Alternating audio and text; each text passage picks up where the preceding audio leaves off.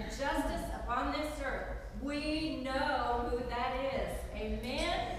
And so we can go to Hebrews. So Christ has now become the high priest over all good things that have come.